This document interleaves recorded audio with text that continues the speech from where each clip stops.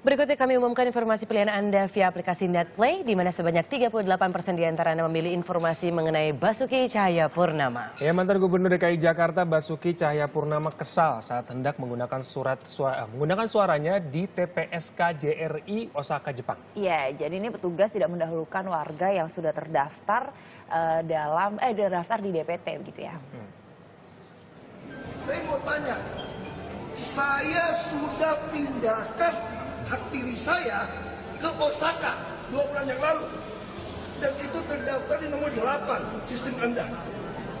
Lalu Anda kalau pakai sistem seperti ini, bagaimana kalau yang pilih pakai paspor ini besok pulang ke Jakarta dan menggunakan hak pilihnya di Jakarta?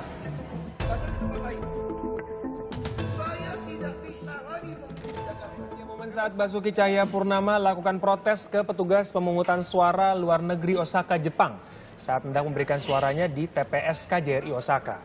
Saat itu mantan Gubernur DKI Jakarta tersebut kesal lantaran petugas akan memberikan sisa surat suara yang tersedia kepada warga negara Indonesia yang tengah berada di Osaka, namun tidak terdaftar di DPT. Padahal dirinya telah terdaftar secara resmi di TPS Osaka sejak Februari 2019. Beruntung kesalahpahaman ini pun cepat teratasi dan Basuki Cahayapurnama dapat menggunakan hak pilihnya.